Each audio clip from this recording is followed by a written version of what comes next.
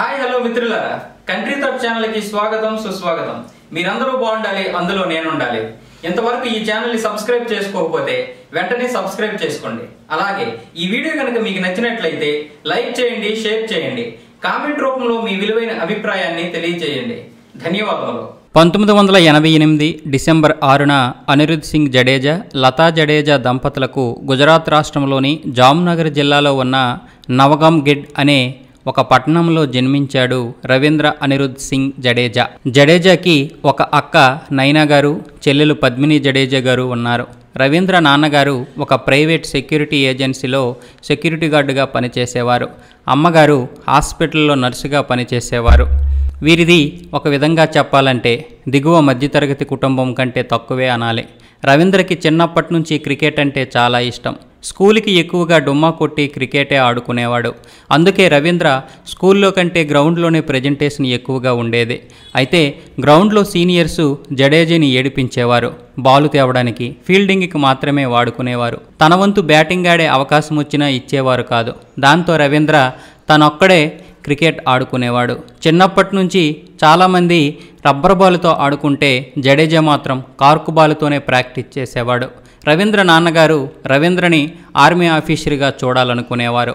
అందుకే చదువు మీద శరీర దారుఢ్యం మీద తన మనసుని లగ్నం చేయమని ఎప్పుడూ చెబుతుండేవారు. అప్పుడప్పుడు కోప్పడేవారు కూడా. అందువలన జడేజాకి తన తండ్రి కంటే తల్లి వద్దే చనువెక్కువ తల్లి కూడా ఎక్కువగా జడేజాని ప్రోత్సహిస్తూ నువ్వు ఎప్పటికైనా మంచి క్రికెటర్ అవుతావని ఆశీర్వదిస్తుండేవారు. ఆ సమయంలో మహేంద్ర సింగ్ చౌహాన్ అనే ఒక పోలీస్ ఆఫీసర్ జడేజా జీవితాన్ని మలుపు తిప్పాడనే చెప్పాలి. రవీంద్ర సింగ్ చౌహాన్ గారు ఒక పోలీస్ ఆఫీసర్. ఇతనికి కూడా చిన్నప్పటి నుంచి క్రికెట్ అంటే చాలా ఇష్టం. కానీ ఆర్థిక పరిస్థితులు కుటుంబ పరిస్థితిలో మొత్తానికి ఆయన పోలీస్ ఆఫీసర్ అవ్వాల్సి వచ్చింది. దాంతో అతను తనలాగా క్రికెట్ అంటే ఇష్టం ఉన్నవారికి క్రికెట్ ట్రైనింగ్ ఇచ్చేవారు.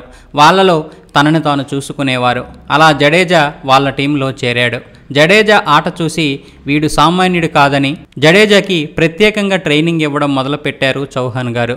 జడేజాకి ఫాస్ట్ బౌలింగ్ అంటే బాగా ఇష్టం. అయితే చౌహాన్ గారు చాలా కఠినంగా స్పిన్ బౌలింగ్ని నేర్పించారు. ఎంతలా నేర్పించారంటే పిచ్ మధ్యలో ఒక బాలును నిల్చోబెట్టి ఆ అబ్బాయికి తగలకుండా బౌలింగ్ చేయించడం ఎలాగో నేర్పించారు చౌహాన్ గారు. ఒకవేళ బౌలింగ్ బాగా చేయకపోతే ఎలాంటి మొహమాటము లేకుండా జడేజాని చితగ్గొట్టేసేవారు ఆయన. ఎందుకంటే జడేజా అంటే ఆయనకి అంత ఇష్టం ఒకసారి లోకల్ టోర్నమెంట్ ఆడుతున్నప్పుడు బౌలింగ్ బాగా చేయలేదని మ్యాచ్ మధ్యలోనే జడేజా చెంప చెల్లుమనిపించారు ఆయన దాంతో జడేజా కసిగా బౌలింగ్ వేసి ఐదు వికెట్లు తీసి తన టీంని గెలిపించుకున్నాడు. అయితే రెండు వేల ఐదులో జడేజా అమ్మగారు ఒక రోడ్ యాక్సిడెంట్లో అకాల మరణం చెందారు.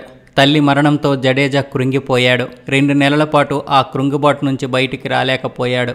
నిజానికి ఆమె సంపాదనతోనే కుటుంబాన్ని పోషించారు. వాళ్ళ నాన్నగారికి వచ్చే జీతం చాలా తక్కువ. ఇంటి ఆర్థిక పరిస్థితి బాగోలేకపోవడంతో తన తండ్రి చెప్పినట్టు ఆర్మీలో చేరాలని నిర్ణయించుకున్నాడు. అయితే వాళ్ళ అమ్మగారి ఉద్యోగం అక్క నైనా గారికి ఇవ్వడంతో ఆమె తమ్ముడికి సపోర్ట్గా నిలిచారు. అమ్మ కోరిక నువ్వు పెద్ద క్రికెటర్ అవ్వడం. కాబట్టి నువ్వు క్రికెట్ గురించి తప్ప మరే దేని గురించి ఆలోచించకు అని ధైర్యం చెప్పారు తమ్ముడికి. అదే సంవత్సరం అంటే రెండు వేల ఐదు చివరిలో జడేజా అండర్ నైన్టీన్ వరల్డ్ కప్కి సెలెక్ట్ అయ్యాడు. ఆ వరల్డ్ కప్ చివరి మ్యాచ్లో టీమిండియా పాక్ చేతిలో ఓడిపోయింది. అయితే జడేజా ఆ మ్యాచ్లో మూడు వికెట్లు పడగొట్టి అందరి దృష్టిలో పడ్డాడు. ఆ తర్వాత రెండు వేల ఎనిమిదిలో అండర్ నైన్టీన్ వరల్డ్ కప్లో వైస్ కెప్టెన్గా పదోన్నతి పొంది బరిలో దిగాడు జడేజా. కేవలం ఆరు మ్యాచ్లలో పది వికెట్లు పడగొట్టి టీమిండియా వరల్డ్ కప్ గెలవడంలో కీలక పాత్ర పోషించాడు. అదే సంవత్సరం రంజీ ట్రోఫీలో నలభై రెండు వికెట్లు తీయడంతో పాటు ఏడు వందల ముప్పై తొమ్మిది పరుగులు చేశాడు. దాంతో ఇండియా వన్డేలో స్థానం దొరికింది జడేజాకి. రెండు వేల తొమ్మిదిలో శ్రీలంకతో మొదటిసారి వన్డే ఆడాడు. ఆ మ్యాచ్లో అరవై పరుగులు సాధించాడు కానీ ఆ మ్యాచ్లో టీమిండియా ఓడిపోయింది. అదే సంవత్సరం టీ ట్వంటీలో శ్రీలంకతో మొదటిసారి మ్యాచ్ ఆడాడు. వన్డేలలో దుమ్ము దులిపాడు జడేజా. అయితే కొంతకాలానికి జడేజా ఆట తీరు పేవలంగా మారడంతో టీంలో స్థానాన్ని కోల్పోయాడు. రెండు వేల పదకొండు వన్డే క్రికెట్ టీంలో స్థానం దొరకలేదు. కానీ దేశీయ క్రికెట్లో దుమ్ము దులిపి మూడుసార్లు త్రిపుల్ సెంచరీలు సాధించి అందరి దృష్టిని ఆకర్షించాడు. భారతదేశంలోనే మూడుసార్లు మూడు త్రిబుల్ సెంచరీలు సాధించిన మొట్టమొదటి ఆటగాడిగా రికార్డు సంపాదించుకున్నాడు. డొమెస్టిక్ క్రికెట్లో అతని పెర్ఫార్మెన్స్ చూసిన టీమిండియా సెలెక్టర్స్ జడేజాకు టెస్ట్ మ్యాచ్లో చోటు కల్పించారు. రెండు వేల పన్నెండులో మొదటిసారి ఇంగ్లాండ్పై టెస్ట్ మ్యాచ్ ఆడాడు జడేజా. అప్పటి నుంచి జడేజా వెనుతిరుగు చూసుకోలేదు క్రికెట్ కెరియర్లో. ప్రతి టెస్ట్ మ్యాచ్లో ప్రత్యర్థులు వికెట్లు తీస్తూ టీమిండియా విజయంలో కీలక పాత్ర పోషించేవాడు. రెండు వేల పదమూడులో ఛాంపియన్ ట్రోఫీలో ఏకంగా పన్నెండు వికెట్లు తీసి ఆ టోర్నమెంట్లకే హైలైట్గా నిలిచి గోల్డెన్ బాల్ అవార్డు కూడా అందుకున్నాడు. రెండు వేల ఎనిమిదిలో ఐపీఎల్ క్రికెట్లో ప్రవేశించిన జడేజా మొదట రాజస్థాన్ రాయల్స్ ఫ్రాంచైజీ జడేజాను కొనుగోలు చేసింది. ఆ సంవత్సరం రాజస్థాన్ రాయల్స్ కప్పు గెలవడంలో కీలక పాత్ర పోషించాడు జడేజా. అయితే రెండు వేల పదిలో రాజస్థాన్ రాయల్స్కి రాజీనామా చేయకుండానే వేరే ఫ్రాంచైజీలతో ఒప్పందం కుదుర్చుకునే ప్రయత్నాలు చేస్తున్నాడనే నెపంతో జడేజాను బీసీసీఐ ఒక సంవత్సరం పాటు ఐపీఎల్లో నిషేధించింది. ఆ తర్వాత రెండు వేల పదకొండులో కొచ్చి టస్కర్స్ కేరళ తరపున అరంగేట్రం చేసి అద్భుతమైన ప్రదర్శన ఇచ్చాడు. దాంతో జడేజాను రెండు వేల పన్నెండు ఐపీఎల్లో కొనడానికి చెన్నై జట్టు డెక్కన్ చార్జెస్ తీవ్రంగా ప్రయత్నించాయి. చివరికి CSK Chennai Super Kings team జడేజాను పన్నెండు కోట్లకు కొనుగోలు చేసింది. ఆ సంవత్సరం అత్యధిక ధర పలికిన ఆటగాడుగా జడేజా నిలిచాడు. రెండు వేల పదహారులో సిఎస్కే టీం రెండు సంవత్సరాలు నిషేధింపబడింది. దాంతో జడేజా గుజరాత్ టైటాన్స్ తరపున ఆడాడు. రెండు సంవత్సరాల తరువాత సిఎస్కే టీంపై నిషేధం ఎత్తివేయడంతో మళ్ళీ సిఎస్కేలో చేరి ఆల్రౌండర్గా అద్భుతమైన ప్రదర్శన ఇస్తూ ప్రతిష్టాత్మకమైనటువంటి అర్జున్ అవార్డు అందుకున్నాడు.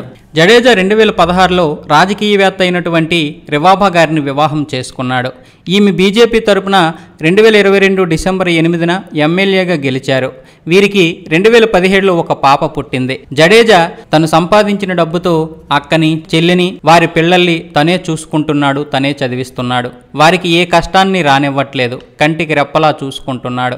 అలాగే తన తండ్రిని కూడా మహారాజులాగా చూసుకుంటున్నాడు. తన తల్లే తన కూతురు రూపంలో వచ్చిందని మురిసిపోతున్నాడు జడేజా. తనకి ఏ విధంగా అయితే చౌహాన్ గారు సహాయం చేశారో తను కూడా మరికొంతమంది పిల్లలకి సహాయం చేయాలని ఒక ట్రస్ట్ను కూడా ఏర్పాటు చేయడానికి ప్రయత్నాలు చేస్తున్నాడు జడేజా. జడేజా ఆయన భార్య ఇంకా ఎన్నో విజయాలు పొందాలని మనము మనస్ఫూర్తిగా మన కంట్రీ థర్డ్ ఛానల్ ద్వారా కోరుకుందాం.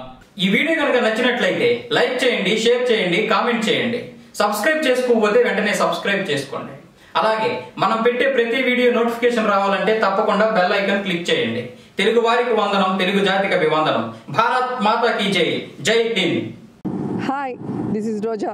For more interesting updates, please subscribe Country Thoughts. Hi నేను మీ వేణు. మీ అభిమాన హీరోల బయోగ్రఫీ కోసం please subscribe Country Thoughts hi friends నేను మీ రచరవి ఫ్రెండ్స్ మీకు ఇంట్రెస్టింగ్ వీడియోస్ కోసం please subscribe Country Thoughts hi అండి నేను మీ Fun Bucket Bharat please subscribe to Country Thoughts hi friends నేను మీ Devenani please subscribe Country Thoughts Please subscribe and share Country Thoughts. Hi అందరికీ నమస్కారం. నేను మీ Madhupriya. Please subscribe to Country Thoughts YouTube channel